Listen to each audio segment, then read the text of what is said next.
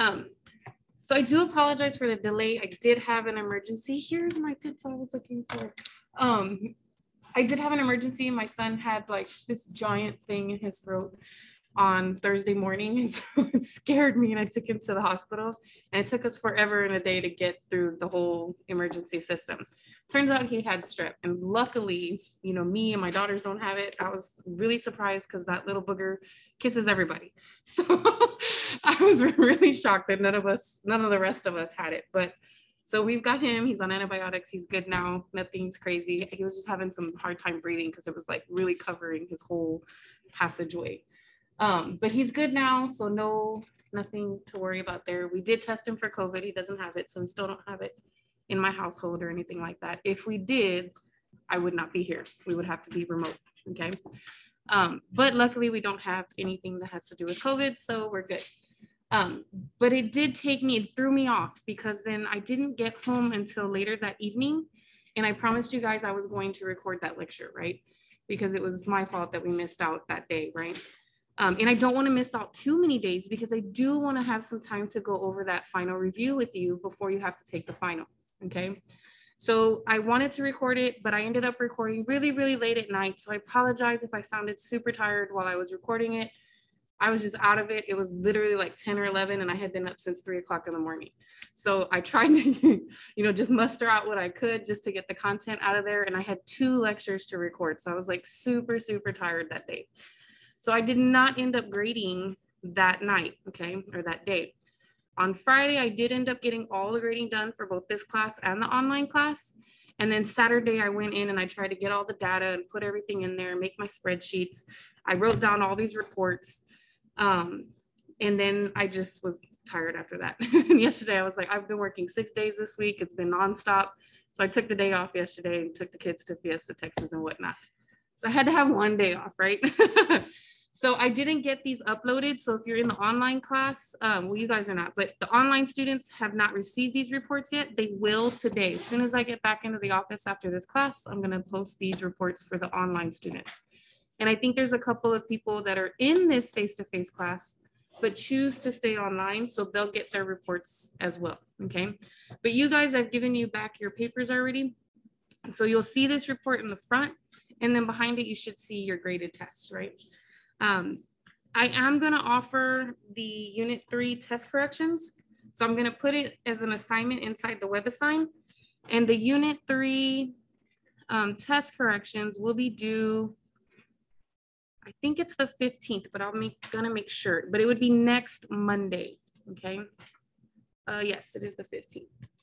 So on the Monday, 11, 15, 21.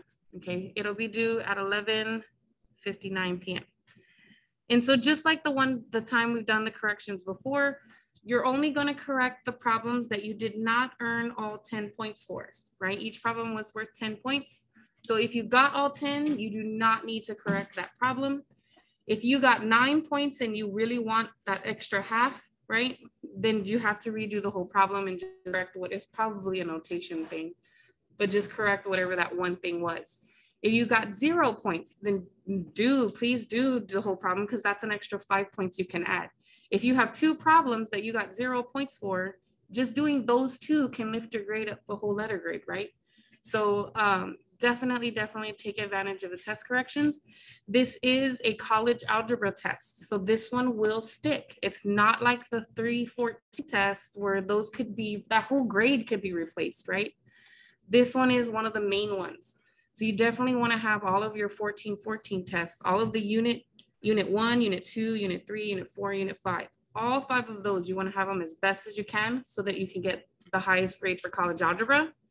And then if you didn't do so hot on the 314, it can you'll have a better grade in that class as well. Okay. So this test definitely please um in all of your advices, you didn't get like a super awesome grade on this test. I told you to do the test corrections. Okay, so you can improve that score just a little bit. The more you improve this score, the more points that you add to your bank. Okay, so whatever your total points are, that's literally like the grade that you have right now, besides all the other things that we haven't gotten yet, right? We haven't done unit four and we haven't done unit five yet. So that's, or the final. That is another, what, 45 points up for grabs. So if you want to pass, you really need to have at least 30 points in the bank right now. Okay. If you don't want to have to get hundreds on everything, you want more than 30 points right now. Okay. If you don't have 30 points right now, this is those are the ones that I'm worried about. And I really need you to go back, not only to do the test corrections, but to also go back to all the old homework assignments and just make sure that they're all 80% or higher. Okay. If I gave you some specific advice, like you needed to have 90% or higher, it's probably because you already had an 80, but you still need a little bit more points. And I might have suggested to go back and make them go up to a 90. Okay. Um, but you should have your test average, whatever that is. I calculated it at the 15% points and then I got this. So let's say I had a 74 homework average. Then I just did this and so then that gave me 11.1 points. Let's say I made 64 on test one. Then I have 9.6 points. Let's say I made an 83 on the next one. And then let's say I made, you know, I'm improving here and I made a 90 on the last one. And then all I did was just add up all of those numbers. So 12.45 plus 9.6 plus 11.1. And I have this many points. So this person, this hypothetical person I just created, right, has this many points. This is good, right? As long as this is over 30, it's totally possible for you to pass the class. If it's not over 30, it's still possible. You just have a lot of work to do, right? Then I took that number, whatever that number was, and I put it over the total points you could have possibly gotten. So if all of these were hundreds, you would have had 15 points here, 15 points there, and so forth, right? So that's 60 points total that you could have. So I just took your number and divided it by 60, and I got um, I got this. But if I move it over twice, that's a 78 pretty much percent. And so then this person is at a C right now, okay? And so that's where this letter grade is coming from. Now, I'm not going to enter this letter grade anywhere. Midterms is already over, right? That part of the semester. This is just to kind of let you know where you're at right now, okay? That doesn't mean that that's where you'll be at at the end of the semester because anything can happen. You can either fall off and not do well and not do any more homework for the last two units, right? Or you can do your test corrections and do your uh, all your old homework and then now you're in a better position than you were before okay? So anything can happen at this point. We're still not at the point of no return yet okay? i would say maybe i'm hoping to do the unit four test before we have that drop date okay? So that way once you get your unit four test i can try to you know go through it and grade it real fast come up with these reports and then at that point, you'll know like what I'm gonna need on the unit five and the final. And then if you see like, oh, I'm gonna need a, a hundred on the unit five and the final, and you're like, there's no way I'm gonna get a hundred, and you choose to drop, that's on you, okay? Or if I tell you, oh, you only need to have a 60 on the the the unit five and the final to pass, and you're like, oh, I could do that. And so then you choose not, you choose to stay in the class, right? So I'll have those numbers for you. Um, in the next test, okay? But right now, this is just kind of a guide to let you know where you're at right now, okay? And it can go up, like this person right here, notice that they're there, right? They need how many more points? Let's see. If I wanted a B, I would have to have 48 points total, but I have 46.65.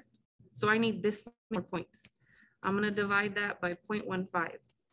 That means I need to raise my homework average at least nine points. So I would want my homework average to be an 83, okay? So for me personally, I would go back and all the ones that are not at 80 or higher, I would go back and do all of those. If it's already 100, it's good, okay? You'll probably get those nine points just by going back and improving all the lower than 80s up to 80, okay? So that's, I just wanted to explain that real quick because it is a little bit, it's a lot of information, but I wanted you to kind of have an idea. Now, we did cover 5.1 and 5.2 in the video. I don't know who's all seen it and who hasn't. Um, I wish there was a way to capture that so I could be like, hey, you probably don't understand what we're talking about today. And then the others like start getting more interaction with the people who had seen it. Um, But we did talk about exponential functions. And so in the past, we've always done polynomials where the base was the variable, right? And then your exponent was some kind of number. And now what they've done is they've swapped those positions on us, right? So now we have the base is a number and your variable is actually in the exponent, right? So it's just a different kind of problem now. These are called exponentials. Now, one thing is, is that that base does have to be greater than zero and it cannot be one because we already know that one raised to any power is still gonna be one no matter what that power is, right? And so really the function doesn't equal an exponential, the function just equals a number. And in that case, that's just the horizontal line at one. That is not an exponential function, okay? Exponential functions are supposed to look like this normally. If you have a negative exponent or function base, it looks like this, okay? So we do talk about that throughout the lecture. Um, it does tell us how to evaluate numbers. Like you're literally just plugging in numbers for X and then evaluating it. So like if they say X equals three and they tell me my base is four, you're literally just typing that in your calculator. If they give you one half, you're doing four to power one half. Nice thing about our calculators is it will do all this for me. I just didn't have a calculator when I was doing this, okay? And so I had to go back and use all my rules to figure it out, right? But you can type four raised to the one half in your calculator, and it will just tell you that it's two. Okay, so you don't have to do this stuff, but I did it just to show you. Okay. Um, and the exponent can truly be anything, right? It could even be a square root of two. Um, it could be any number that exponent. You just use your calculator to go ahead and evaluate those. So they're just showing you like you can evaluate it with different numbers. And so I went through all of that. The calculator strokes are different. Notice they're using a graphing calculator to do these keystrokes and we do not use graphing calculators. You guys are engineers and I don't want you getting too dependent on the calculator. I need you to focus on the, the knowledge here. That way you can take that with you to calculus, right? What happens is people get used to the calculator and then they don't remember what's going on behind the calculator, okay? So these are actually the keystrokes that you would use. So for instance, this problem there, 0.6 raised to the 3 halves, you would do it in this manner.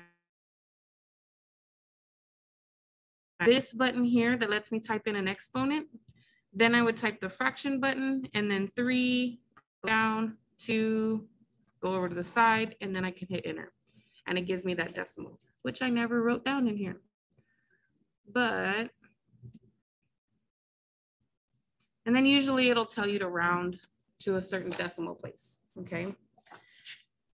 Now, the key thing about these problems when you're graphing is you have to remember, and I will have this as like a little information box on the test, okay?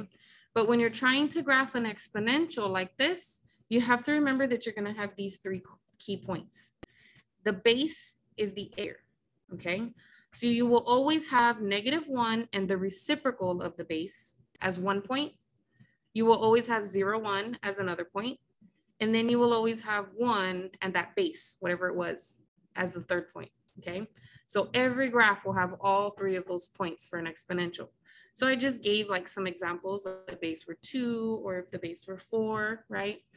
And so then the reciprocal of two is one half, the reciprocal of four is one fourth, the base itself is two, and the base itself is four.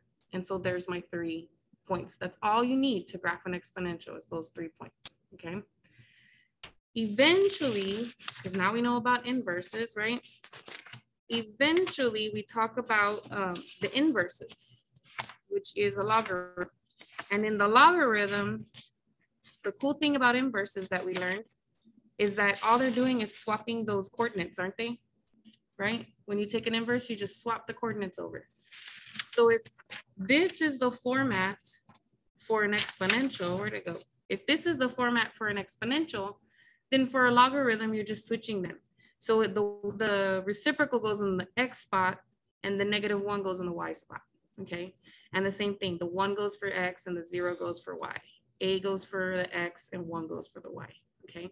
We'll get there because it's not, we're not there yet.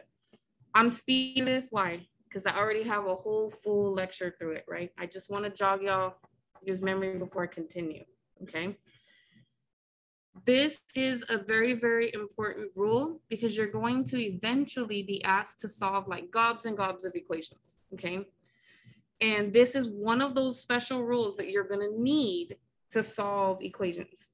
So if you see exponentials, okay? So if you see an exponential thing expression on this side and an exponential expression on that side, your goal is to make them have the same base if you can. Okay, here they already have the same base, right? Once they have the same base, you have this rule that says, well, if this expression is equivalent to that expression and the bases are already the same, the only way those two expressions can be the same is if the exponents are also the same, right? And so then really, I already have the bases are both two. I just need to make sure that that exponent, x plus five, is equal to this exponent, which is negative 4x, right? And then from there, regular equation that you can solve doing your regular steps, right? Now, this is also a new thing, this base E. This is called the natural base, and I tried to explain it to you guys referring to pi, right?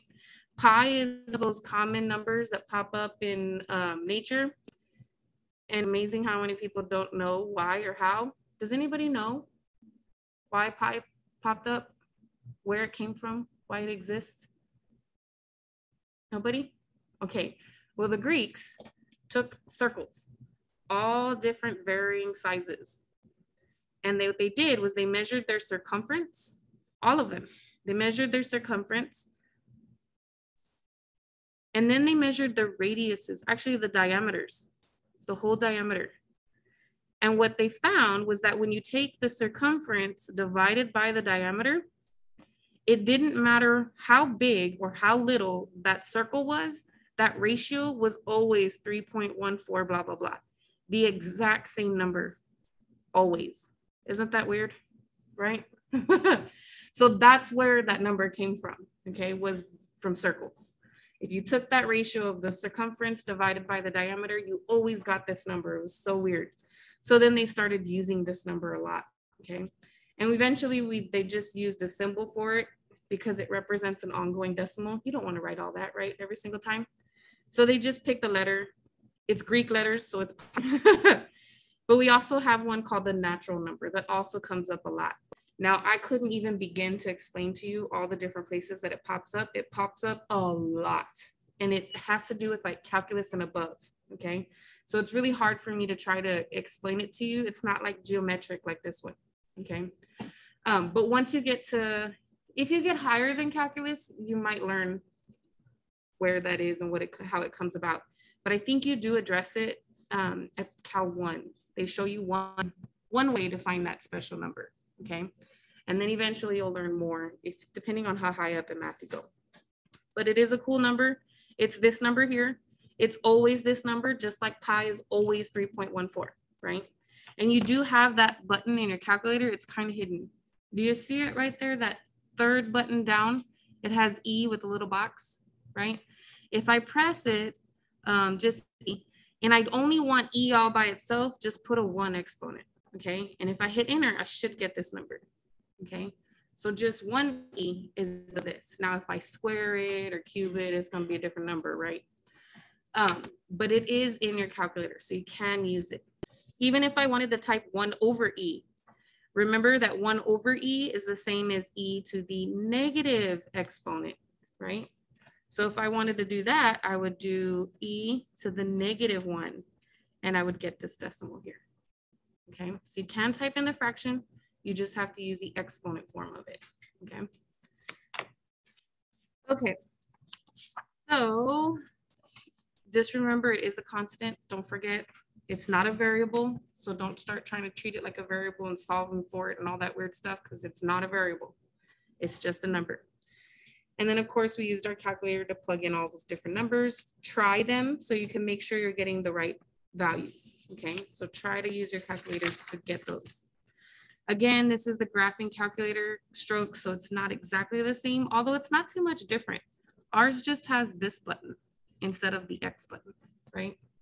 but it's literally the same thing. You type on clear, you type that button, and then you just type in whatever the exponent is and then hit enter, right? It's not too much different from this description here. Now, why do we need exponentials? There are two big things that have to do with exponentials. One of them is growth and decay, which is really important in science because if you want to know um, like how fast bacteria is growing or how fast a virus is spreading, right? Or things like that, those things behave in exponential behavior. And so it's super important to help with that. Also, you know, the forensic scientists can like age how long a body's been dead, right? That's because of the decaying part of it. Okay. And so these things, these equations do help you with both um, growth and decay. And both of them are super helpful in science. Um, another thing is money, right? That's the more important one right? for everybody, right? Is the money. And I just wanted to share with you an experience that I had because I think it's super important because a lot of people are like, when and where is this stuff used in real life? It is actually used, and I had somebody ask me on the test, why do we have to do this or something? I don't remember how they phrased it exactly. But it was the problem where you had like three, you had two zeros, you had five and like four plus I or something on the test, right? And so you had to remember that you also had four my I, and then you had to multiply everybody out, right? That whole problem. Um, and somebody's like, eyes, when am I, we're never going to see this in daily life. And I was like, you might not be solving equations like this in daily life, but electrical engineers do. And what do election what are electrical engineers responsible for? They're responsible for our electricity and they're responsible for your computers. So if you are using a computer or electricity, which I know you are if you're watching my video, right? you are using, quote unquote, using imaginary numbers, okay? So yes, you might not be doing it on daily life. You are using it in your daily life for sure. Okay. This is super important for me because I actually saved six grand knowing this information that I'm gonna that we're gonna talk about right here. Okay. I don't know how many of you have bought a car. I bought my first car when I was like 23. Okay. And when I went to go buy my car, and I bought a little Kia, I didn't have lots of money. I was just a tutor, at Palo Alto College. Um, so I was trying to buy like something super cost effective, right? So I went to go buy me a little Kia. And the guy comes back with, oh, this is how much you're gonna have to pay, and this is the total after you know however many years of my contract, right? And I was like, wait a minute, because I know how interest works, okay? And I know that you do have this formula here for when you compound, like you can compound annually, what is compounding? That's like how often you collect the interest, okay? So I could collect the interest once a year, I collect it twice a year, I collect it each quarter, I could collect it each month, I could collect it each week, or even daily. And then eventually we talked about that one special guy where they collect it continuously, right? And so when I did the calculations, this is the worst one. This is the one that will give, you will have to pay the most interest, right? If you're trying to get a loan, to buy a car, this is the one that will make you pay the most interest. And I use this. I put the car's value in there. I put the interest rate that they told me I was going to have to pay. And I put the years for the amount of contract that they told me I was going to have to pay. I put all that in there. And with the interest and all of this calculation, I showed them, I was like, this is the dollar amount that I get. But your dollar amount is like six grand more than what I've done. How am calculating interest? Because what formula are you using? Because I know you're not using a basic formula, because if you were using a basic formula, then you should be using this formula or this formula, and neither one of those is giving me that outrageous number. And they were like, oh, oh, oh, let me go look, let me go look. And they go and they compute, compute, compute. And then they come back and they're like, oh, you're right. It's not supposed to be that. It's supposed to be this. And then they gave me the next paper that had the amount that I was going to owe. Same rate, same time, everything the same, but it was six grand less than the original thing that they tried to give me. Imagine how many people out there buying cars that do not know this information and are getting gypped, right? That's a lot of people. So I thought it was super important to stress that story because it did save me money and you might want to actually pay attention to this stuff because it might help you if you go to try buy a car, right? So everyone in my family takes me with them when they go to buy a car now.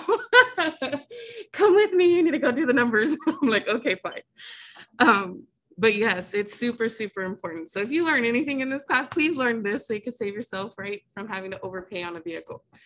Okay, back to the thing. So there's two formulas. One of them is when it says continuous, And the other one is if it doesn't say continuous, okay? If it says compounded annually, compounded weekly, all of those words, then you're gonna use this one, okay?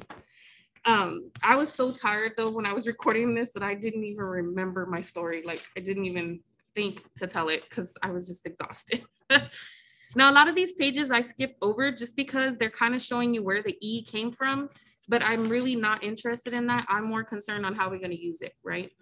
Um, I can I took for granted that pi was pi this whole time, right? Y'all never asked how why is there a pi, right?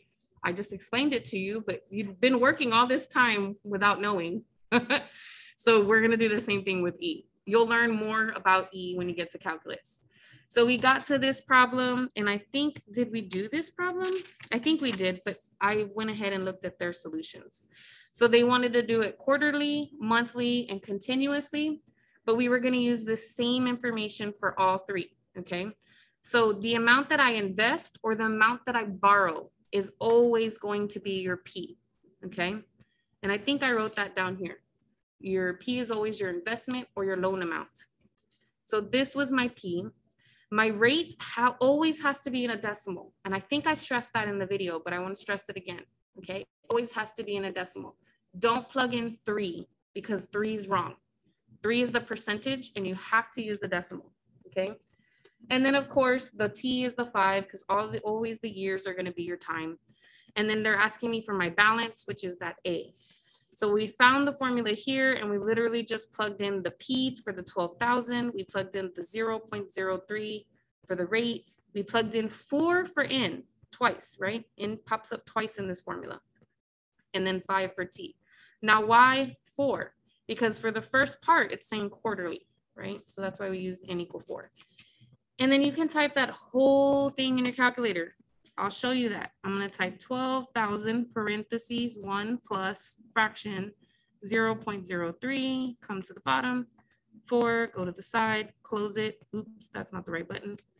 And then raise it to the four parentheses five. Mine looks exactly like it does on the paper, okay? And you just hit enter and it gives you this Wait. I did, didn't I? Thank you very much. Let me do insert and zero. Good catch, thank you. So yeah, and then this nine will convert that over to a one, right? So it should be always money. So always round to the cent, okay? Always the second decimal place so you can get those cents. If it tells you to round to the nearest dollar, that's the only time you'll ever round to something else other than the cents, okay? So pay attention to those directions. Now number, letter B was for monthly, so we had to plug in 12. So all you can literally keep that same thing in your calculator and just change the fours to a 12. I have to insert the two because it's another digit. Down here, I think I'm okay. And then you get that number right? The one is not enough to convert that over to a zero or to a one. And then the last one had this word. As soon as you see that word, you have to use a totally different formula, okay? And so you don't plug in anything for n. There's no n. It's just always being compounded, right? How in the world are you going to use a number for that, right? You can't put in infinity. okay, so you have to just use this formula and you plug in your rate, your principal, and your time. And when you compute it, it gives you that. Just for demonstration, I'll do this one again, make sure I put all my zeros right.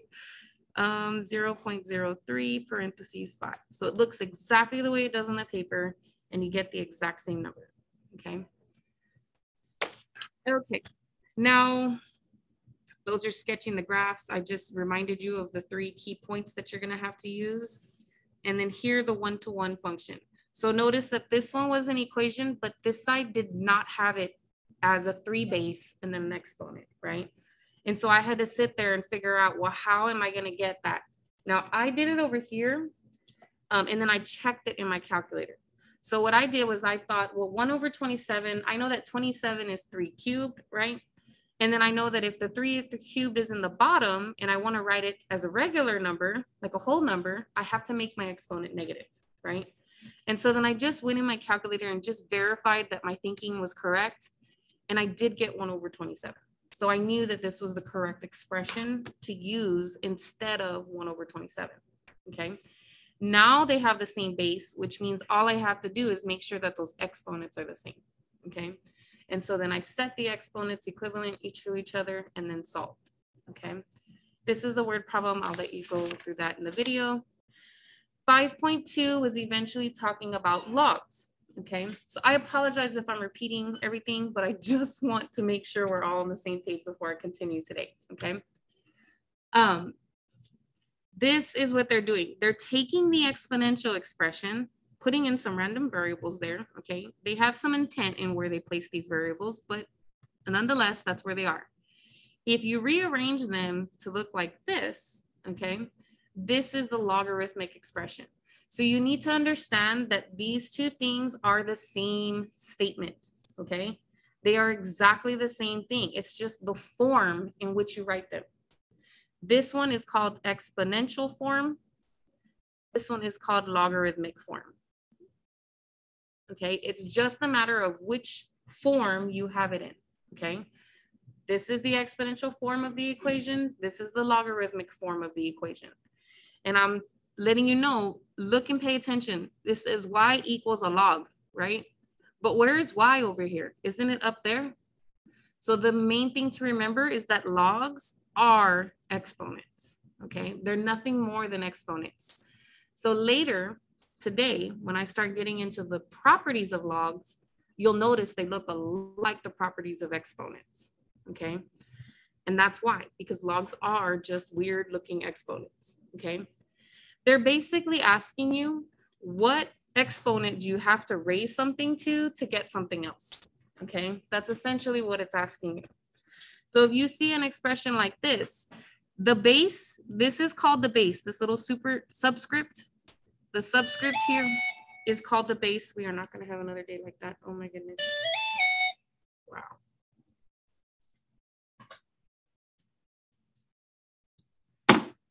So when I write this, I have to swap them. The biggest thing to remember is that the base in the logarithm, when you swap it, becomes the base of the exponential.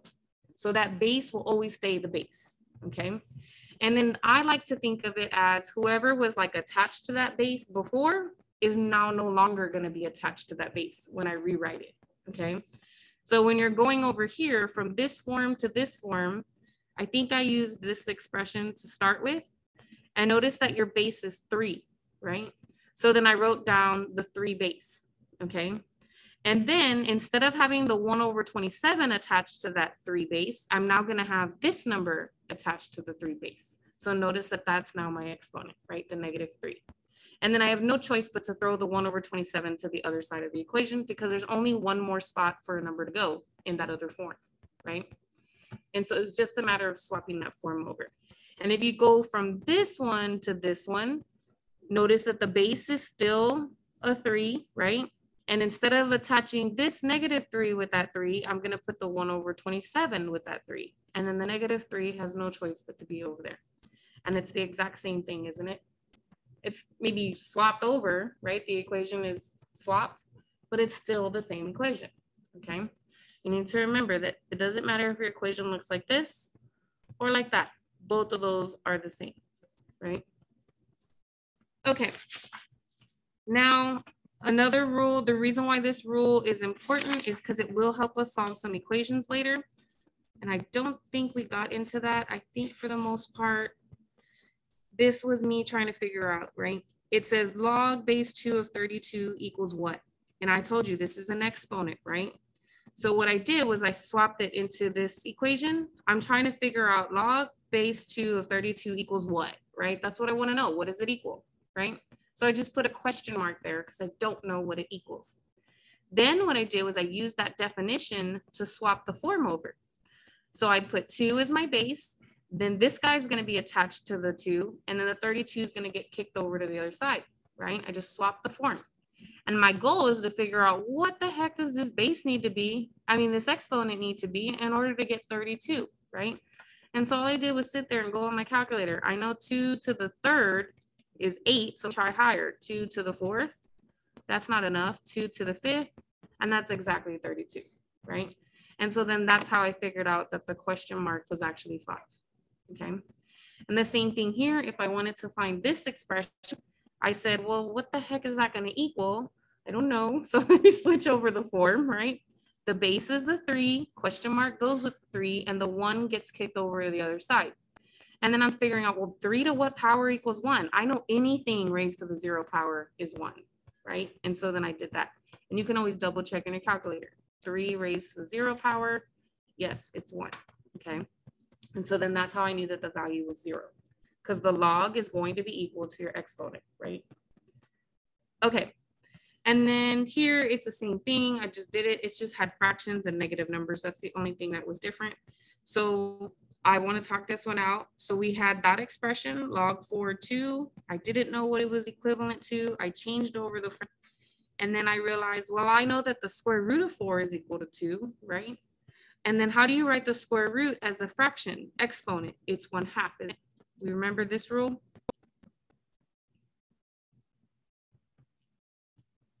Remember that rule, right?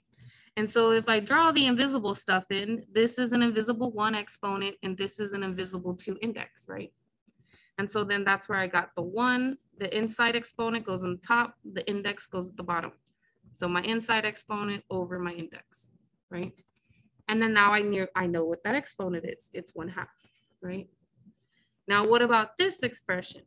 Again, I don't know what it's equivalent to, so I put a question mark. You could put a variable instead of a question mark if you don't like question marks, right? Back in the day, I used to use J's all the time just because my name starts with a J. You can use whatever letter you want. It doesn't matter. Um, once I swap it over, it looks like this. And so I'm like, well, how am I going to make that look like 10 to some power? And so I know that 100 is 10 squared. And then I know that if I have 10 squared at the bottom and I want to make it whole, I just make the exponent negative. So you remember all those exponent rules that we learned like way in the beginning, right? They're coming back. So we're gonna have to keep using them, okay? Um, and then that tells me that the exponent is negative two. So that's the answer there. You will have those rules, okay? All these rules. It's not that having everything is a good thing because then you're there sitting there staring at a whole bunch of stuff, right? you don't know exactly what to do. Okay. So, but it will be there if you're like, I'm not going to memorize all this. You're not expected to memorize everything. You're expected to know how to use everything. Okay.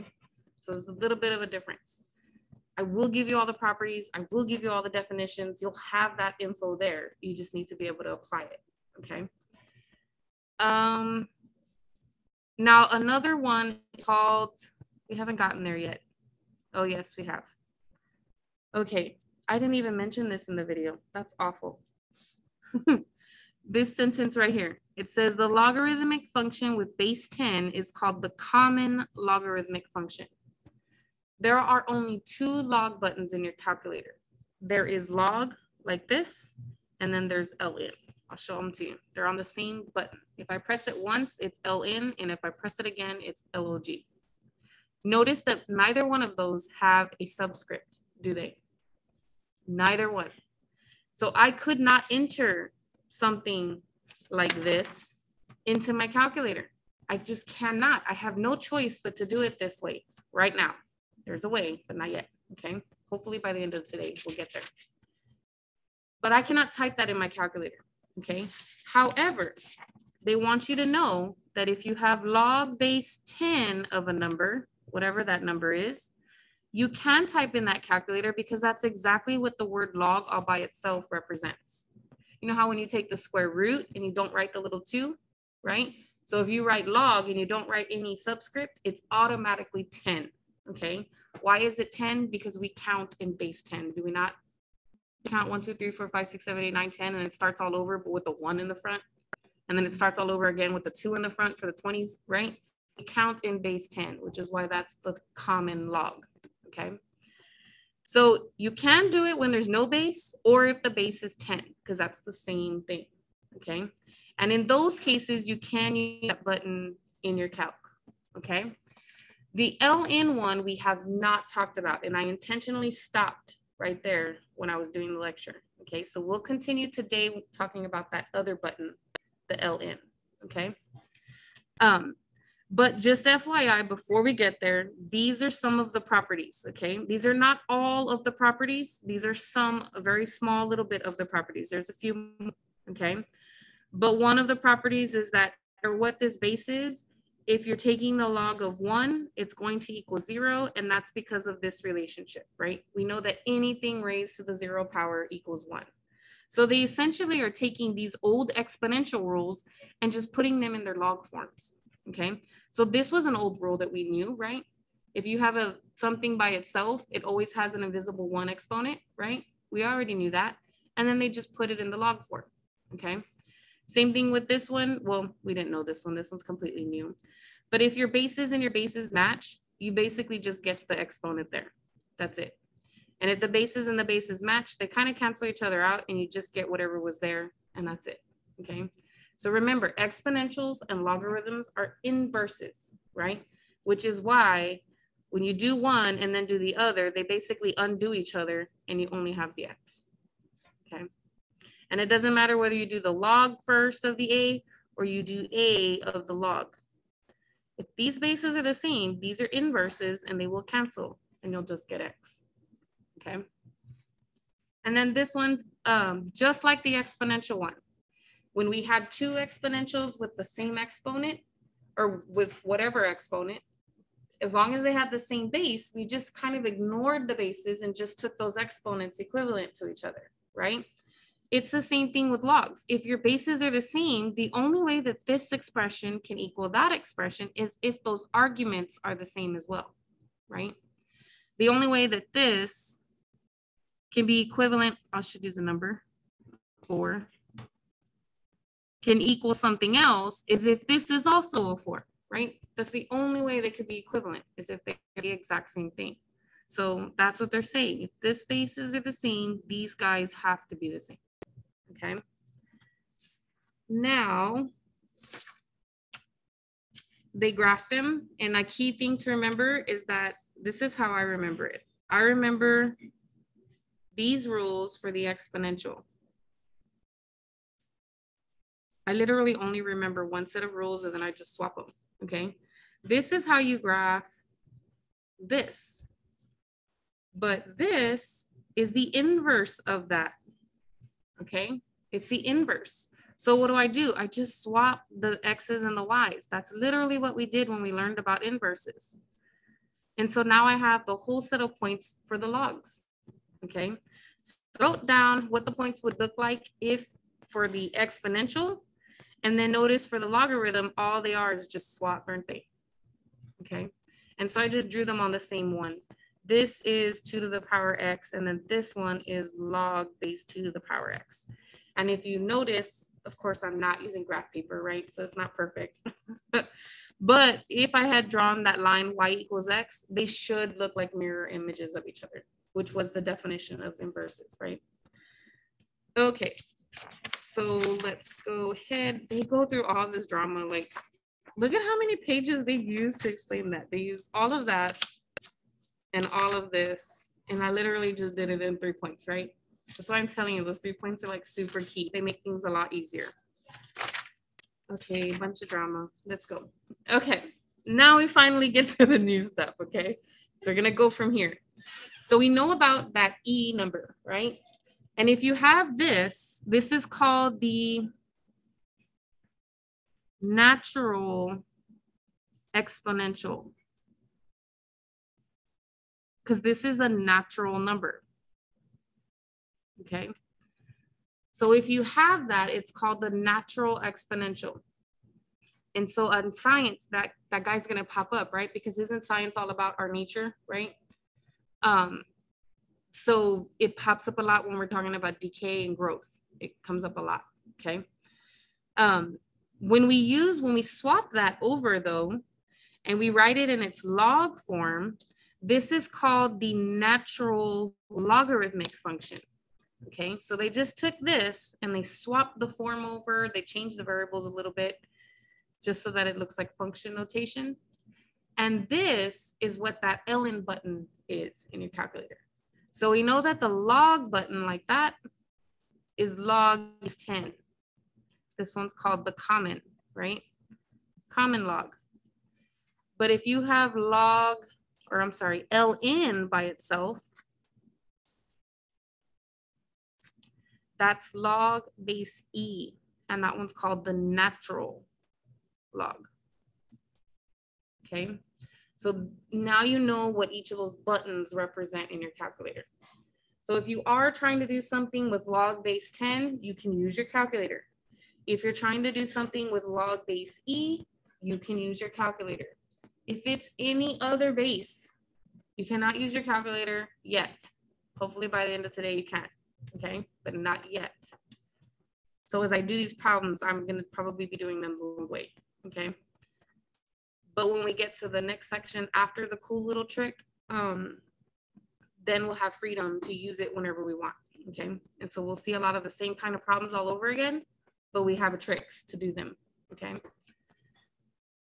So, um, dun, dun, dun, this is telling you that this is the equivalent. If I don't ever memorize this, I am very much of the kind of person that the less I have to memorize, the better.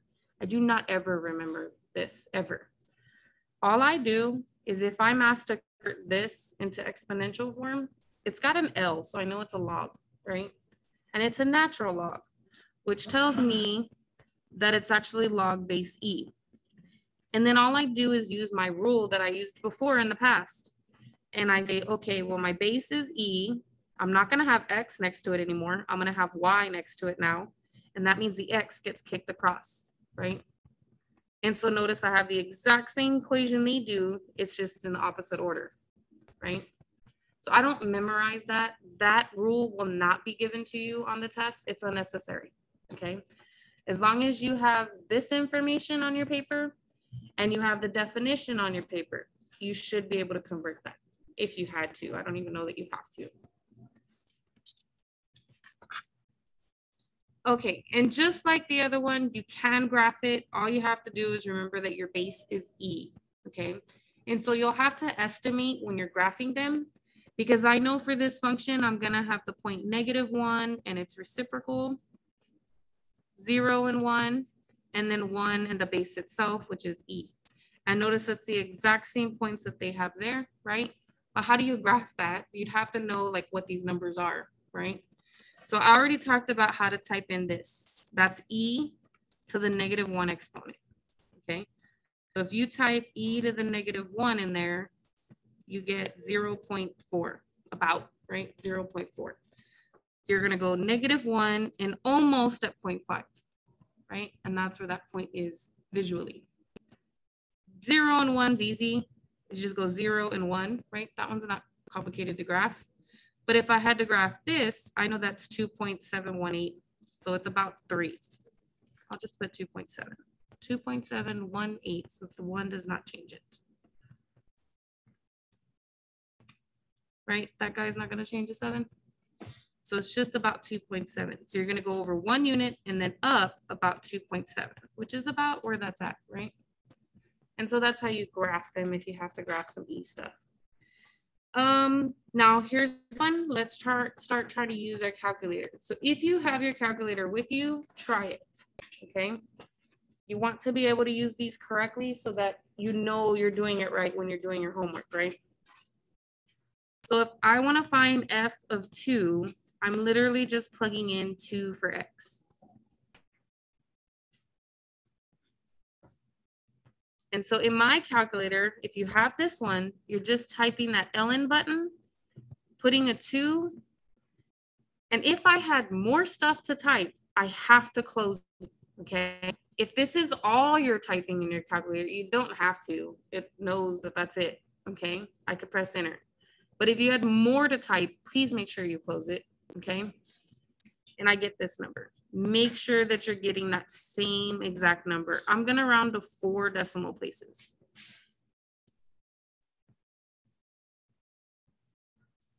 Normally in the web assignment, it'll ask you to round to four. Now, if I wanna plug in 0.3, now I'm 0.3 for X. So the ln button and then 0.3. And I get negative 1.20. Oh, this one's gonna have a cascade. This seven is gonna turn this to a ten, right? So seven is gonna turn that to a ten, which means the one's gonna carry over. So it actually becomes this. That one has a cascade effect, so be careful. The seven made the nine go up, but then that actually made the three go up, didn't it? Okay. And let's do the next one. Pay attention, there's a negative here, so I'm actually gonna put it in parentheses. Just so that I don't think that, that's proper, improper notation, by the way. If you do this, it's like ln minus one, doesn't it? That's bad. One is, is that, X, well, you guys are not trig yet. You have to take the ln or the log of some, ln by itself means nothing. Watch what happens if I type the ln button by itself. It tells me what the heck do you want me to do with that, right? Or if I type in log by itself, oops, clear. It doesn't know what you want it to do. It needs something to compute, okay? So always make sure you tell me what you're computing here and then the rest of the expression. And in this expression, expression, I am computing the negative one. So I put it in parentheses so that it looks like I'm taking the ln of this, right? Now let's see what happens when we do that though. I get domain error, okay? Why is that? That's because when they defined this, they told me that A had to be a positive number and X had to be a positive number, okay? So when they defined it, they already told me that I could only plug in positive numbers, which is why this doesn't exist.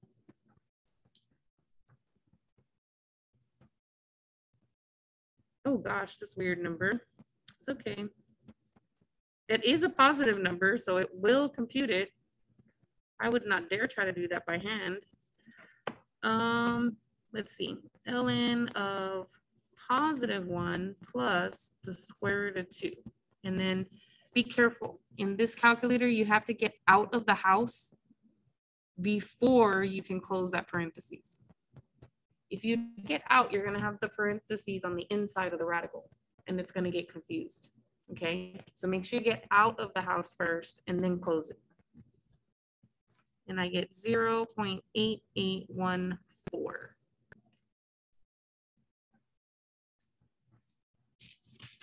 We're getting to use a little bit more of our calculator. This is cool. Now, they're just literally telling you how to type it in and then getting all the numbers, okay? You don't write error in WebAssign, right? you write DNE. So that's why I wrote DNE, okay? Now here's some more logarithm, more properties. They're the exact same properties on the other side. It's just now instead of having an A, they have a specific base, which is E. But it's the same thing. It doesn't matter whether it was A or E, okay? It's the same three rules. I will not have this extra set of rules because it's for no reason. The other one was already so general, right? Okay, here we go. Human memory. I always like the word problems in these things, especially one where you like try to have you have to age how old the mummy is. That one's really cool. Um, I don't know what this one is. It says students participating in a psychology experiment attended several lectures on a subject and took an exam. Every month for a year after the exam, the students took retests to see how, I think that should be plural, but anyway, to see how much of the material they remembered. Oh, okay, gotcha. The average scores for the group are given by the human memory model. So I guess after mapping all of this, they tried to find a graph. My glasses keep fogging.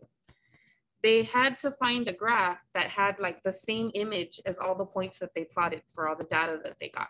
Okay. And so it turns out that the graph that had all the same data points as them looks like this function here, this really weird function, okay? You won't know how to do this, how to find that model until you get to another class, okay? So don't worry about it. We're not gonna actually find these models in this class. That's for another one. We will, however, do it for exponential functions when we get to that part later, the growth and decay stuff, okay? But for logs, we don't.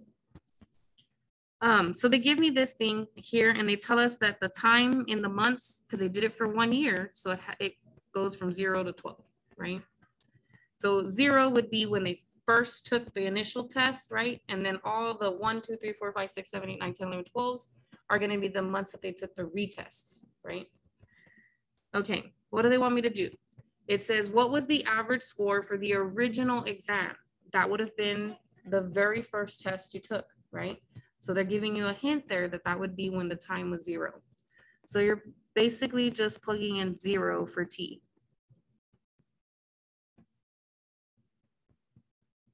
And I'm just gonna stick that whole thing in my calculator. I'm not even gonna worry about adding zero and one together. I don't need to, the calculator will do it for me.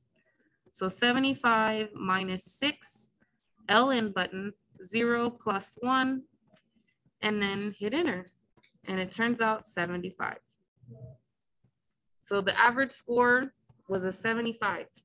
The very first time they learned the info and they took the test, that was the average test score. So some people might have remembered more, some people might have remembered less, right? But that's the average. Now what happens after they took it every month. So this would have meant the second time they took a retest, right? But let's go figure out what that is. And again, I don't have to add that one. I can, it's not too hard to add one, right? Oh shoot, I need that number. I'm gonna cheat and I'm just gonna just zero to a two. And I get 68.4. Okay, WebAssign will tell you how they want you to round it, right? If they want just a whole number, they'll tell you, okay? But the average score was about a 68, the second retest that they took. So that's three times they've taken the same test, right? The initial one, a retest one month later, and a retest two months later. Okay. Of course, it's gone down. People do not remember stuff that long. Um, and then now six months. So I'm gonna go back up here and plug in six. And on paper, let me just write down what I'm doing. And we get 63.3. So it's not going down too bad, right? It's going down, but not horribly. People are still remembering at least half of the stuff, right? So that's kind of how the human memory works. Now, this is just based on the data that these people collected, right? I mean, who knows if you collect like all the data throughout time, it's probably going to be a different function slightly. So finally we get to, did you have a question? Anybody? Sure. So ln is the natural log. So it's a log, but with a base E. You can't put log with a base in your calculator yet. Okay. So the only the only way we can put log base E in our calculator is by typing the ln. But when I solve equations, I do change every time I see the word ln, I usually change it to log and then with a little e, just because it helps me to know how to solve the equation. So you'll see me do that when we get back. So I don't use LN all the time, only if I have to use the calculator. Okay, but good question. Okay, so here's some examples of stuff you might see in your web WebAssign, right? So for 5.2, you might be asked to convert the forms over. So notice this one is in log form and they want us to put it in the exponential form. So remember the trick that I mentioned keep your base as the base of the exponential. And the other two numbers are basically gonna swap sides over that equal sign, right? So the two is now gonna be over there with the four as an exponent. And then the 16 gets kicked off, right? And is that true? Is four squared equal to 16? So you have a true statement, you know you did it right, okay? Now the other way around is a little bit harder because you wouldn't really know if it was a true statement or not because logs are just really mind boggling. But I'm gonna switch it. So I know I need to convert to a log because this obviously has no logs, right? So we are gonna convert to a log. And then what should my base be? Right, the base of this exponential is three. And so then the other numbers, the negative four and the one over eight, 81 have to swap sides. So I am not going to have a negative four over here with the three anymore. What is going to be here with the with the three? The one over one. And then that leaves me no choice but to kick the negative four across, right? Normally I say across the line or across the fence. And when I say that, the equation is the equal sign is the line or the fence, okay? Now this one asked me to the one-to-one -one property. So we already know that that, I mean, you can write it. I usually do just because my brain does not compute LN. I don't know why. It just doesn't. I'm like, they're all logs. Why is this one different? so my brain usually does not like LN, but I mean, it is convenient. Um, but I usually write a log base E just so that I know that. And you already know the rule, the one-to-one -one rule for regular logs. If these bases are the same, then that means that these arguments have to be the same in order for that thing, for you to tell me that this is equal to that, that means these things have to be the same too, right? So we're just gonna say a little implies that this argument has to equal the other argument. And then from there, it's a regular equation. And however, whatever kind of equation it is, you follow those rules to solve it, right? I think when we saw it in the past, it was an, a linear equation, which is easy. Put the x's on one side, constants on the other side, and then you just divide by the coefficient, right? But this one's not a linear. If that were there by itself, that would be a linear, right? But because I got x squared, it's now a quadratic. So for quadratics, you have a totally different step, right? Things you got to do. First thing you got to do is get it equal to zero. So I minus 18 over. And then the next thing you got to do is either factor it or use that quadratic formula. Okay. And I think this one I can factor pretty easy. Um, X, no, maybe not. Oh, six plus three. Six and three. Does that make sense? Multiply to give me negative 18 and combine to give me, nope, I have the wrong sign, don't I? So let me swap them. If I combine those, I'm gonna end up with a negative three. So let me change that to a minus, okay? So then that means X is equal to what? Mm -hmm x equals negative six and positive three. Now we have to remember though, this is what's interesting about logs. I've told you that there's two instances where you have to check your answers in the past. One of those instances is when you have a fraction, because if any of your answers make the denominator of that fraction zero, that is not an actual answer, right? Then the second case of where you had you have to check is if you have square roots, even roots, square root, fourth root, sixth root, any kind of even root in your equation, you have to check your answers because sometimes you could plug in numbers and the left side of the equation not equal the right side. Okay. So there's two kinds of equations you know you already have to check your answers for. Logs is another one. And the reason why is because that definition told us that not only can not only do the bases have to be positive, which are E is positive, right? It's positive 2.8, but the arguments also have to be positive. This is already positive, 18 is not going to change, right? But I want to make sure that that expression is positive for these two numbers, okay? So what I'm going to do is I'm going to check to make sure. So I'm going to say negative 6 squared plus 3 times negative 6. And you can type it in your calculator if you want, but you should get 18. Okay, positive 18. And so that one works. Didn't I get the same argument as I have over there? Right? But I'm also going to check the 3. And this is 9 plus 9, which is also 18. And so then they both check out. And so I can box both of them as my final answer.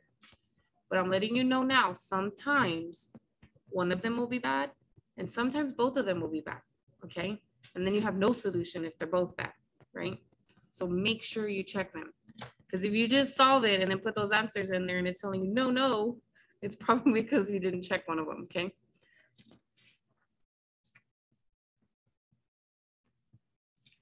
Oh, these were my colors. My printer prints in color, but the one here does not.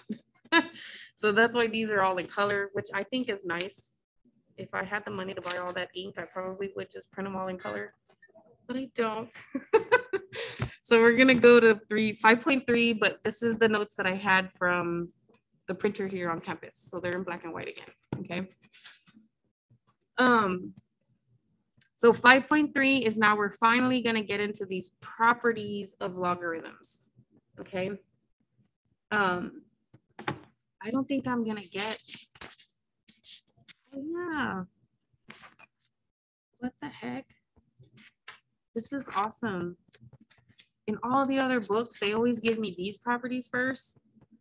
And I'm like, that's a whole lot. Like, why do you do that? And then they make you do everything by hand. And then they give you the change of base formula. And this is that trick that I told you where you can't type, type everything in your calculator right now. But as soon as you learn this rule, you'll be able to type everything in your calculator. Okay. And this book is awesome. It gives it to you first before they torture you. Okay. so that's fantastic. Great. I need that rule. So here's the change of base rule. So we already know that all the calculators and almost all of them, I think it's a special kind of calculator you have to buy that does log with a base and then argument, okay? There is one out there, I don't know what it is, but there is one out there that does that. But most of our calculators only have those two options, the common base, which is base 10, and then the natural base, which is the E. Okay, those are the only two ones we have in our calc.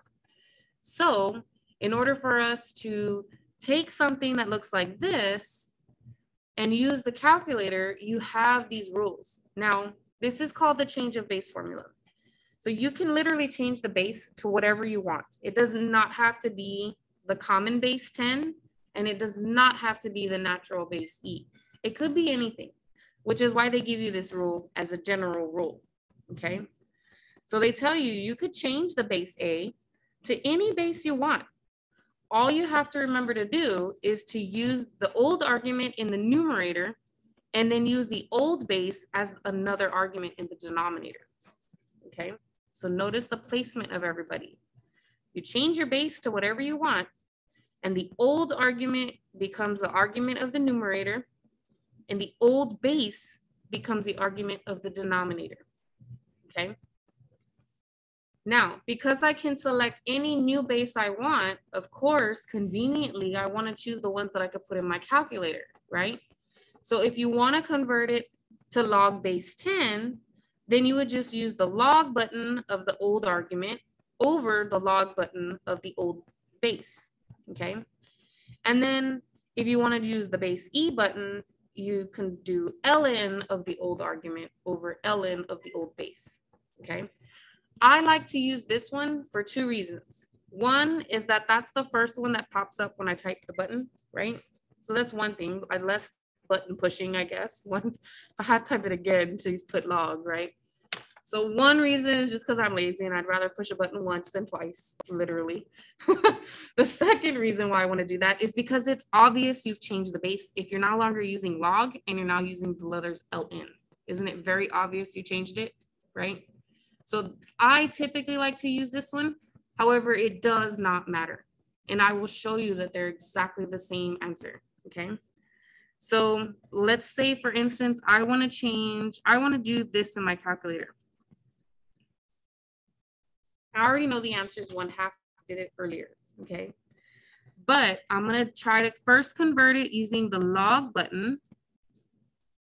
And then I'm gonna convert it using the LN button. Okay? And so which of these two numbers is supposed to go in the numerator? The four. The argument goes in the numerator and the old base has to go in the bottom. Think base bottom, right? Now, it doesn't matter whether I type log of four over log of two. Oh, I typed, did I type it wrong? That's a good thing I did that though, because what happens if you do a half and half? You're gonna get the wrong answer, right? You have to do log and log or ln and ln. So it's actually a good thing I did that, just to point that out, okay?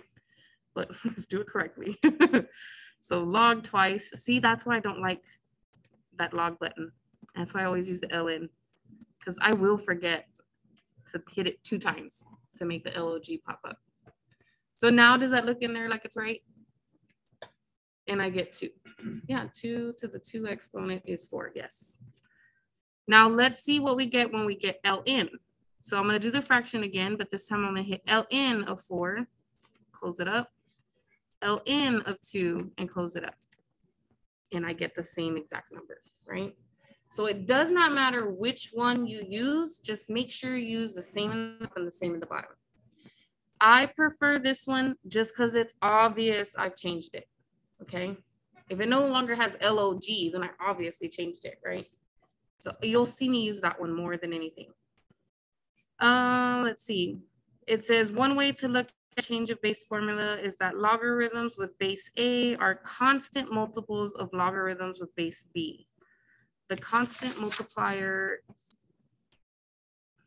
what are they talking about?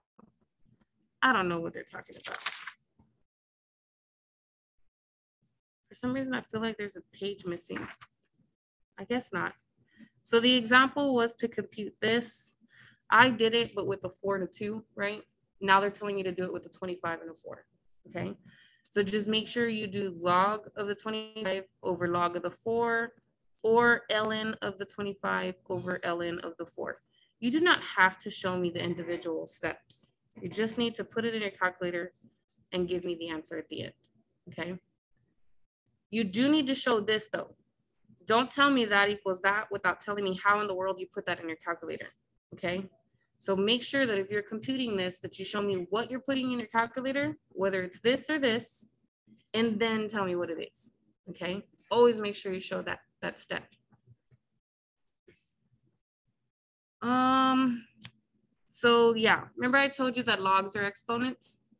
And I told you that all the exponent rules are now gonna be applied as log rules, okay?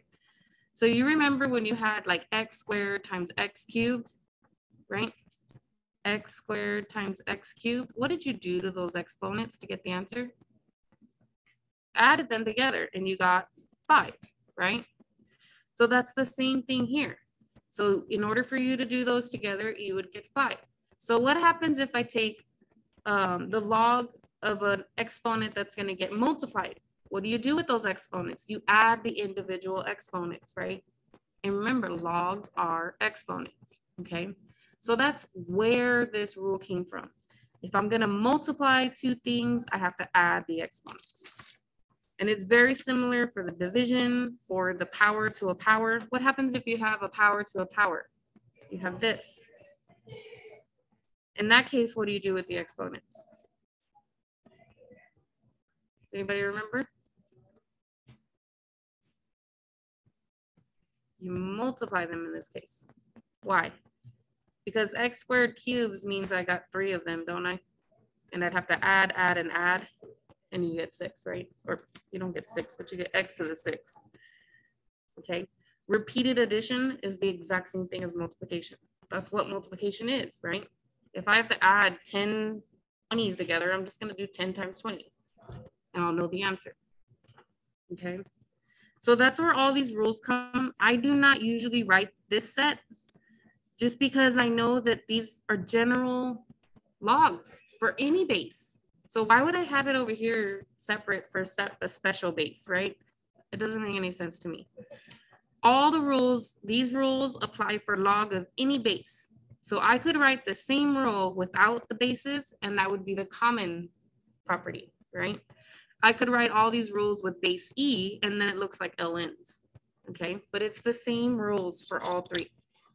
These rules will be given to you on the test, okay? You're not gonna memorize them, although eventually after using them a while, you eventually just memorize them, okay?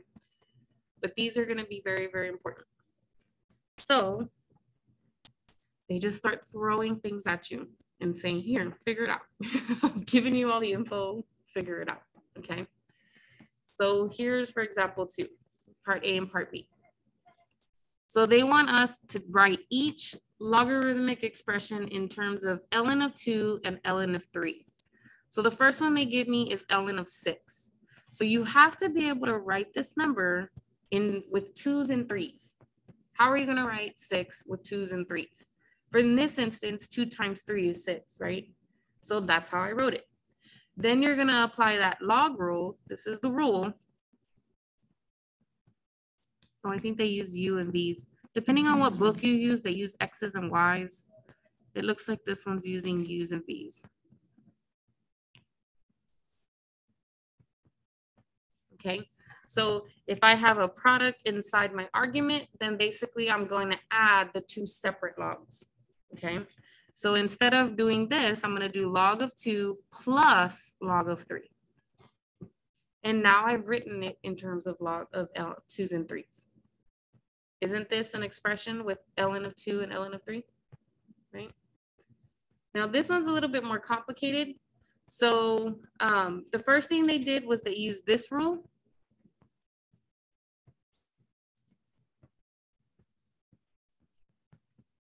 So when you divide exponents or expressions that have exponents, you end up having to subtract their exponents, right?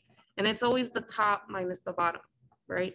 So if I'm going to take a division and split it up, it's always going to be the log of the top minus the log of the bottom. And so that's exactly what they did here. Now we got lucky because we do have an expression of ln of two, but this is not an expression with twos or threes, okay? But is there a way to write 27 with some threes in it? Okay, it is, we can write three with the exponent three, okay? And then they're applying the power property, which is the third one over there. And that one says if you have log base b of something with the power, you end up multiplying those two.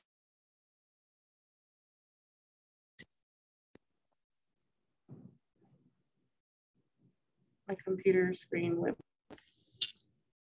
Come on, figure yourself out. There we go. What I tell my kids all the time. You better figure yourself out before you get in more trouble. okay. So then now look at what they did with this little guy right here. This exponent went into the front, right? And so now there's no longer an exponent there. That's literally all that's happening is they're taking that exponent and putting it in the front, okay? They do get, they take some getting used to. I'm gonna do them real fast, right? Because I've already done this like a million times, but it does take you a little while to get conditioned to it. Okay. So make sure you do those homework assignments so you can practice that process. I always tell people math is not a spectator sport, just like watching basketball on TV. You can't just watch these NBA players and then be like, yeah, I can play like an NBA player. It does not work like that, right? You've got to practice a whole lot in order to get that good. It's the same with math. You have to practice. Okay. It might look easy, but it ain't, right?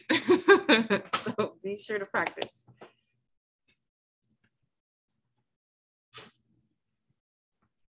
Okay, properties are useful for rewriting logarithms. We know this. Um, that is not telling me anything I don't know. Okay, let's go see.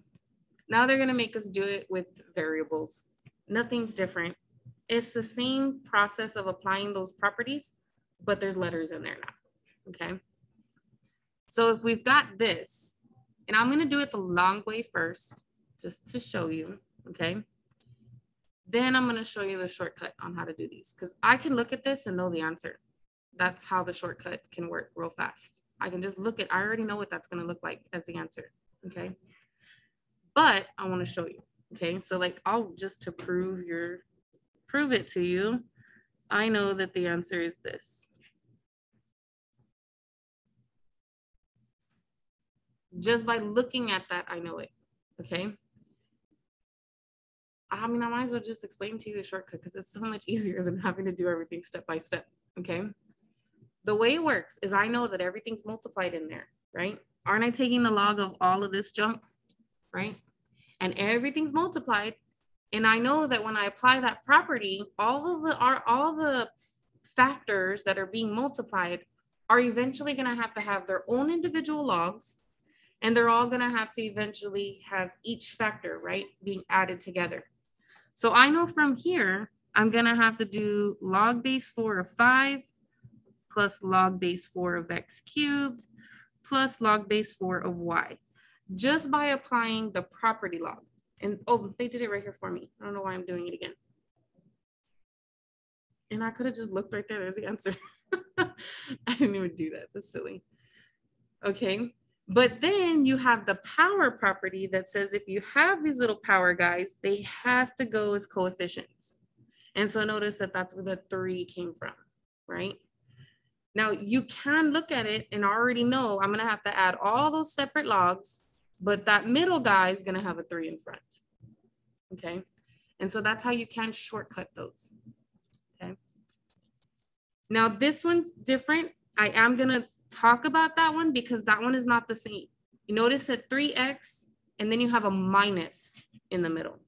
There was no rule that said that you could take an addition or a subtraction and then rewrite it some way. There was no rule like that.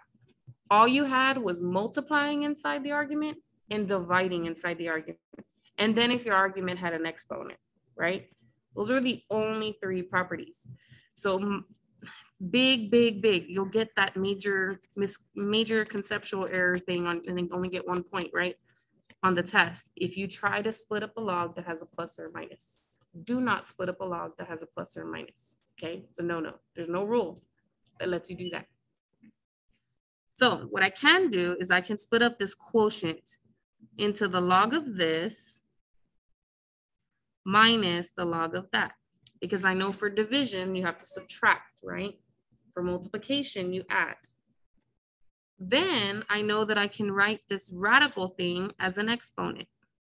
I can write all of that junk on the inside to the one half exponent.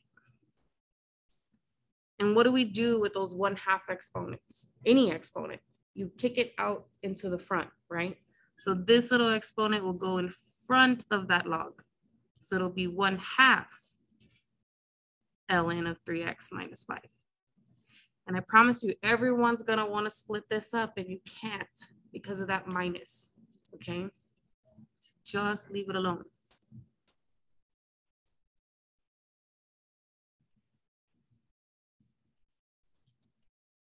Of course, I'm probably gonna have a whole page just for that one, but I'll skip over there in a second.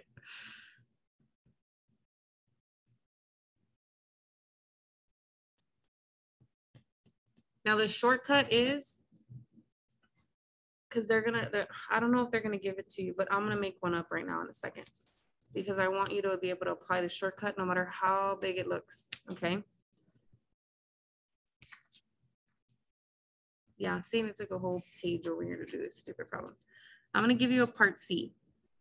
And I'm gonna tell you log base seven of x squared y to the negative, no, not the negative. Um, square root of y. And then I'm gonna have z to the three. You can shortcut this. You know what, I'm gonna have another letter down here. W before.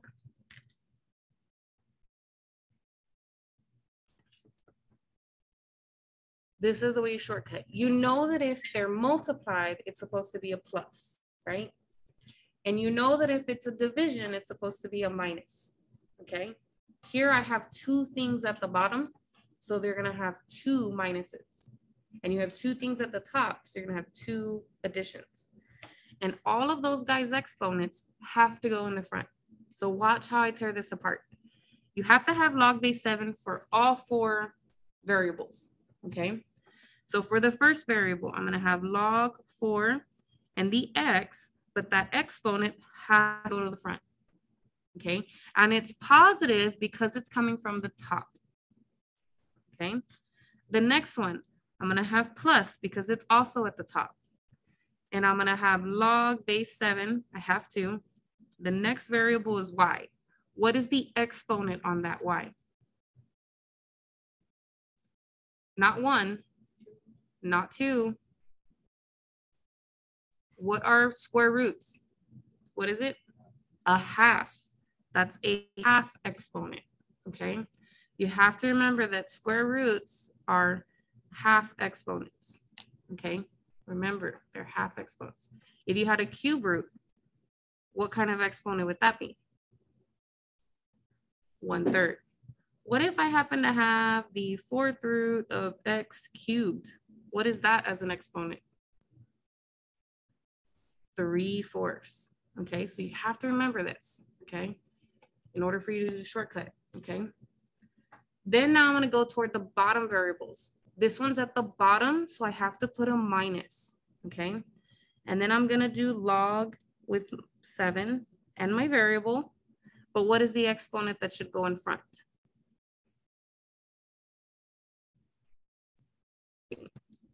And then finally the last one, but it's also at the bottom, right? So I'm gonna use a minus again, log base seven, my W, and then what exponent goes in the front? Four. And then that's the whole thing. And I swear you're gonna use like five or six lines if you tried to do that one step at a time.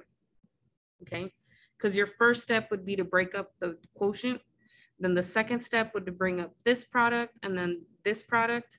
Then the third step would be to distribute the minus. I know you don't know what I'm saying because we didn't do it the long way. And then the last step or step would be to bring all the little powers down. So I'll do it just so you can see how it looks. So I should have done the top. You don't have to write this. I'm just proving a point, okay? You would have had to do the top minus the bottom, right? Using the log rule, the quotient rule, okay? Then you would have had to use the product rule twice, here and here. So you would have had log of x squared plus log seven of y squared y.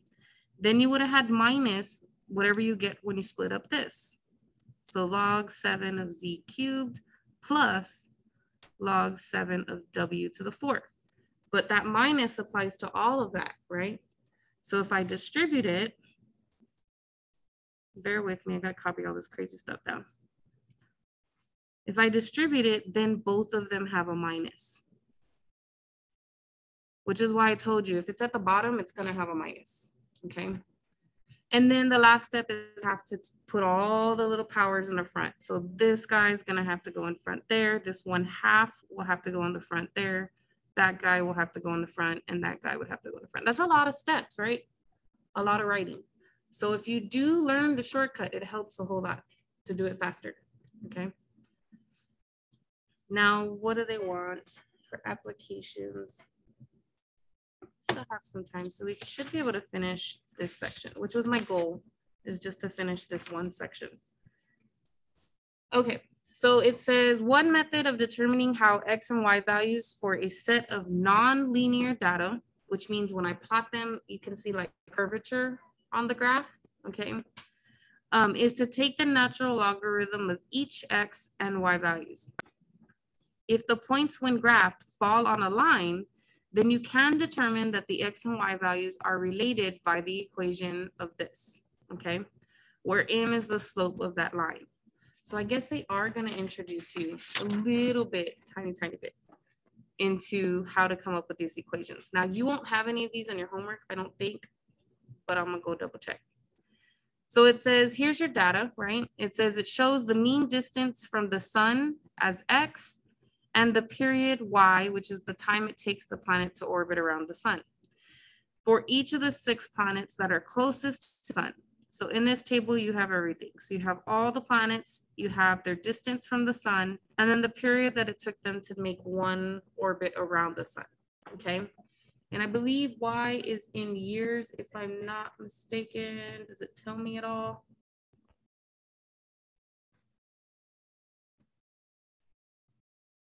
It does not tell me. Oh, yes, it does right here. My finger is at. Hello. T is in years. Okay. So X is in distance and then T is in years. Now, what they've done is they've actually taken the information and they plotted it on a graph. And you notice that this is not exactly a line. If I try to draw a line there, these points are not on that line, right? If I try to draw a line here, those two points are not on the line, okay? So it doesn't really follow a linear pattern. So what they did was they took the ln of all the x values, they took the ln of all the y values, and then they plotted that. And when they plotted those points, notice that they're all on the same line, right? And so that's what tells them oh, I can use a log function to describe that curve, okay? And so then they also noticed that if you take any two of these points, okay, if you take two of these points, and of course, conveniently, you want to use that one, right? It's got zeros in it, doesn't it? so you definitely want to use that as one of your points. And then I think they took the next point right here. They took those two points. And so they found the slope between those two points. So the y value minus the y value, the x value minus the x value. And they got about this decimal number, which means the slope was about three halves, okay? Um, then, now that you know what that slope is, you can write the equation as ln of y equal to that slope times ln of x, according to that definition, okay? Don't think we have to do that. They're just kind of introducing it to you, like how someone would know that the function looks like a logarithm, okay? And that's how. To be honest, I didn't even know that. so it's how often you're gonna use it, right? Okay, here's the good stuff. What are we gonna see on our homework, right? This is the stuff you'll see in your homework. Of course, there'll be more problems, not just one of each, right? There will be multiples. They might word it in a different way just to see if you can catch it, right? Um, but this is essentially the stuff. So it says evaluate this, this logarithm by using your change of base formula and then sticking in your calculator and rounding your answer, okay? It wants me to round it to three decimal places. So remember, when I convert it, I like to use LN, so it's obvious I converted it, okay? So I'm gonna do LN and LN, which number goes in the top and which one goes at the bottom. Remember base, bottom, right? Base goes in the bottom. So that three will go at the bottom and the 13 will go at the top. Now I can type that in my calculator. I'm gonna go fraction ln of 13 over ln of 3. And if I round that to three decimals, I get 2.335.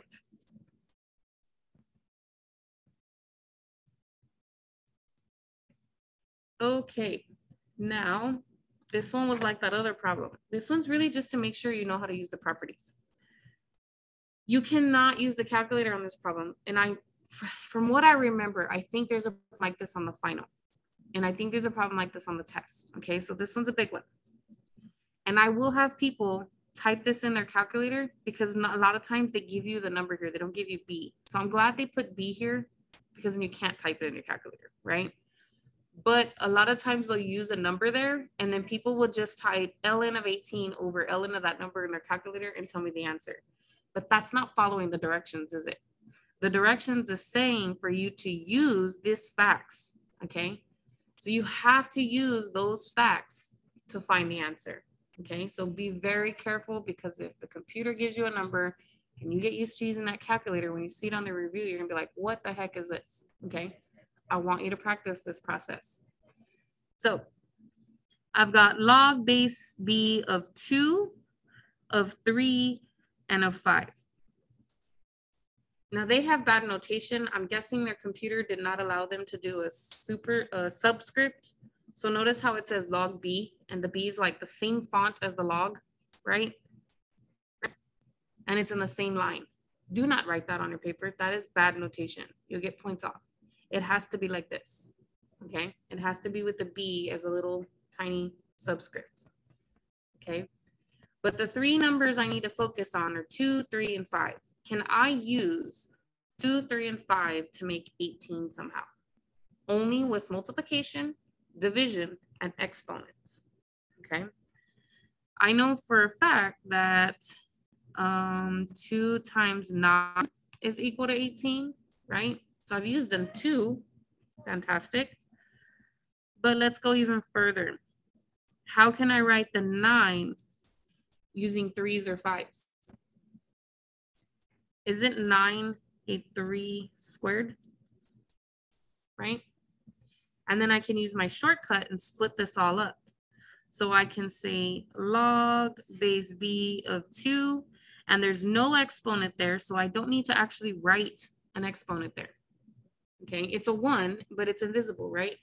aren't one coefficients also invisible, right? So we don't have to write that.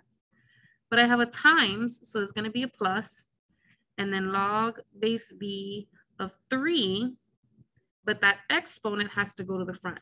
And so it becomes a two right there, okay? The same rules that we did with the variables, right? It's just numbers. Same exact rules. So the plus is there because of the multiplication. If this were division, I'd have to use a minus. And then all your exponents do need to go in the front of those individual logs. And then I'm going to use the info that they gave me. So they're telling me that log base two is actually this number. And log base B is this number. I just have to multiply it by the two because I had a coefficient over here, didn't I? Right? Don't I have two times that log B, three? So I have to do times two of that number. Now I'm just going to type this in here, 0 0.3562 plus 2, 0 0.5646. And I get 1.4854. And a lot of times if you just, people are going to do this problem not following the directions. It just happens. I hope it doesn't, or it happens at least a lot less than it would if I didn't mention anything. Um, if that were not a B, and that were a number, right? Any number, if you took type your calculator directly and you didn't use these numbers, chances are your decimal is going to be off a little bit because they rounded all these numbers, didn't they? And if you put it in your calculator, it's going to give you the exact answer and it's going to be off. Okay. And so you're gonna be like, but I typed it in my calculator and I got this, this should be right. Well, that's not what they told you to do, first of all. And second of all, there's a reason why it's wrong. Okay because all these other numbers are rounded. Okay, now last one in this section, I think it's the last one. Yeah, I think it's the last one in this section. So the last one in this section is to expand all of this stuff. So we're going to have to expand it all. And that one should be pretty easy. How many how many terms am I gonna have when I set this up?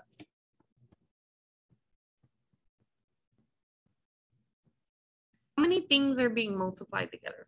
How many factors? That's the word actually, right? How many factors are being multiplied together there? It's not two, it's three, because you've got a number times the B's times the C's, right? So there's three factors there. Only one of them has an exponent, right? And because they're all multiplied, when I split them up into the individual logs, they're gonna all be added, subtracted, or a combo. When I split them all up, are they all gonna be plus, plus, plus, or minus, plus? What are they gonna be?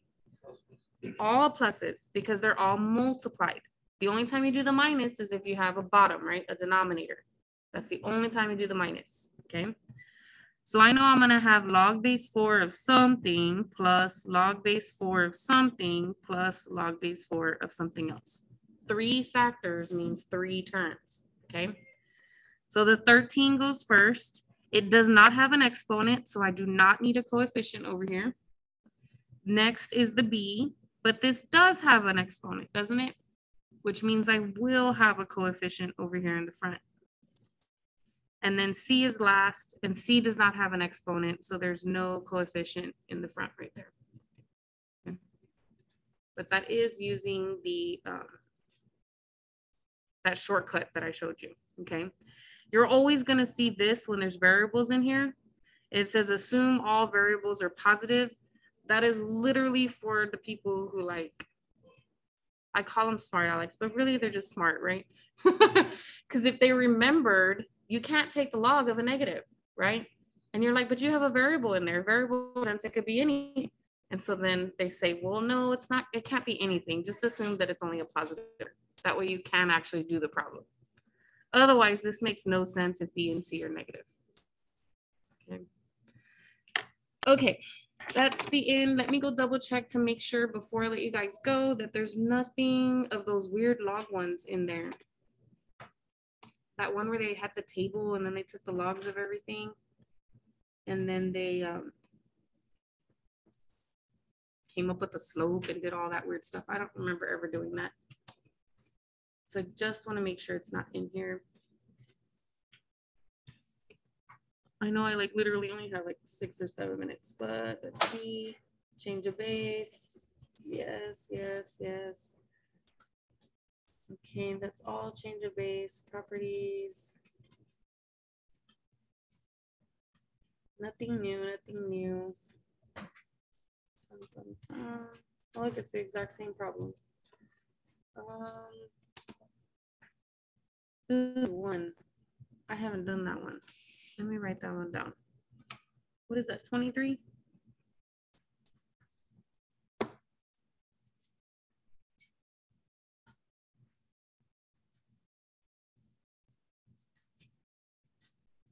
Okay, that one you can do, it's just gonna have a plus and then a minus minus, right? One's gonna be positive and then two of them are gonna have a negative log. This one, be careful because that means y is one ninth, z is one ninth, and x is what? Two ninths, right? So make sure that when you have that radical, if it's over everybody, the y is gonna be one ninth exponent, the z is gonna be one ninth exponent, but the x will be two ninths exponent, okay? Um, these, we haven't done any of those. Actually, I want to do the big one. Let me do the big one. 28, yes. We haven't done any of the compression. We've done all the expanding, taking one log and expanding it into a bunch of logs. What we haven't done is the compression. And that's when you have a bunch of logs and you need to write it as one, okay? So real quick, we're gonna do these two. Now, this one I wanted to talk about because we know that that can factor, right? So that can be written as a product. We know that it can be x plus one and x minus one. And so then when you split it up, you actually have three things. You have two factors from the top and then you have one thing at the bottom, don't you? So when you split it up, it's gonna be ln of the first guy plus, because he's at the top, ln of the second guy, and then the bottom one's gonna have a minus ln of the third guy. But instead of writing x to the ninth, where should I put that exponent?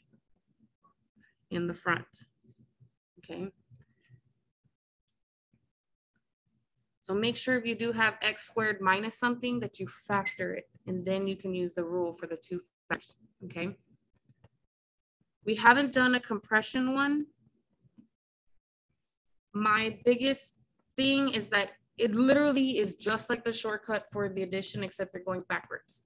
So we know that when we're splitting it up, all the positive logs go on the top or come from the top, right? And all the negative logs come from the bottom. Well, if they give it to you all expanded out, you should know that all the positives are going to end up at the top and all of these negative guys are going to be at the bottom. Okay. So when I do this, I'm gonna write this as LN and I'm just gonna have one big thing, okay? I'm gonna combine all three terms into one LN. Now, at the top of this thing is gonna be this positive term. What is it gonna be in the top? Can you tell me? X squared, good, because this guy is gonna come up as an exponent and it's gonna be X squared. It's going backwards now, right? Now the two at the bottom, there's no exponents, right? because there's no numbers in front. And the minus just tells me they go down here. So that means I'm gonna have x plus four down here and x minus four down there. And then whenever we have a number in front of a log, that number is just an exponent, isn't it?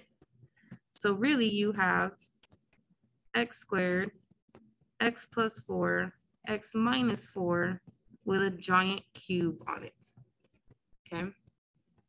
And if you want to simplify it, you could. All you can do is just cube each person individually. So you would have x to the six, x plus four to the cube, and x minus four to the cube. I'll zoom in because it's kind of tiny. Okay. But I gave that guy the cube power, which turned it to a six. I gave that guy the cube power, and I gave that guy the cube power, right? Using our power rules. And so that is what you will type in your computer. Your computer might actually take this one also.